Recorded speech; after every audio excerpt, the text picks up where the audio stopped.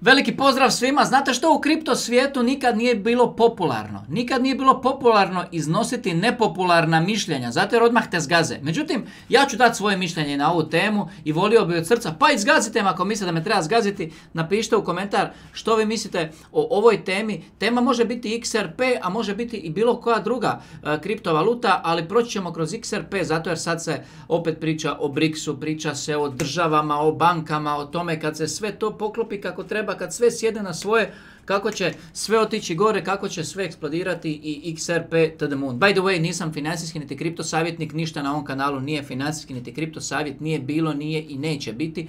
Budite odgovorni prema sebi, prema svom novcu, svojim osobnim financijama prije bilo kakvoga prije bilo kakve odluke, kupovine, prodaje i tako dalje, sami donosite odluke nakon što sami proanalizirate stanje na tržištu. Molim vas, uh, ja ću samo dati svoje mišljenje. Ovako, Mnogi danas, mnogi danas očekuju da će uložiti novac u neku kriptovalutu, da se treba samo malo strpiti i da baš ta kriptovaluta će njima napraviti puta 5, puta 10, puta 20 i da će oni riješiti svoje životno pitanje. Međutim, postoje drugi ljudi u kriptu, postoje jaki ljudi u kriptu, postoje kitovi, postoje milijarderi, milijunaši, postoje ljudi koji pomiču tržišta, postoje ljudi koji kroje puno toga u ovome svijetu.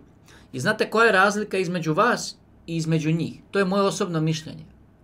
Ja mislim da ti ljudi ne žele da baš ta vaša kriptovaluta ide puta 10. XRP, bilo koja. Tamo gdje oni imaju milijarde, oni ne žele da ide puta 10. Jednostavno ne žele, jer oni ne igraju tu igru tako. Oni žele da bude volatilno. Oni žele da, ako je ovo chart, da ide na 1 dolar, pa da ide na 40 centi, pa da ide na 1 dolar i 20, pa da ide na 50 centi, pa da ide opet na 1 dolar, pa na 80, pa na, pa na 30 centi, pa na 1,5 dolar. Razumijete? Pa da ide ovako. I vi ste kupili ovdje, vi ste kupili ovdje, isti dan kad i oni. Vi ste kupili za 1000 dolara tu kriptovalutu. I vi imate određen broj tih tokena ili kojina, nebitno.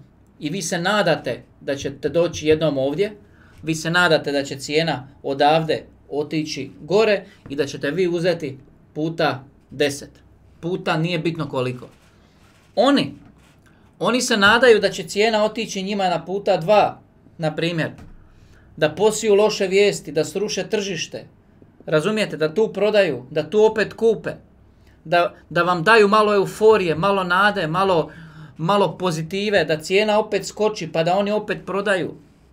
Pa da opet kupe, da prodaju, da kupe, da okrenu deset puta u godinu dana taj isti novac i da oni rade stotine milijuna profita, a da vi cijelo vrijeme na tom putu dok oni rade milijune profita, da vi stojite na mjestu i vjerujete da će upravo ta vaša kriptovaluta gdje ste vi uložili svojih tisuću dolara vama napraviti x10 i da se samo trebate strpiti. Vama volatilnost ne odgovara, njima volatilnost odgovara. To je moje mišljenje, ja ne znam šta vi mislite.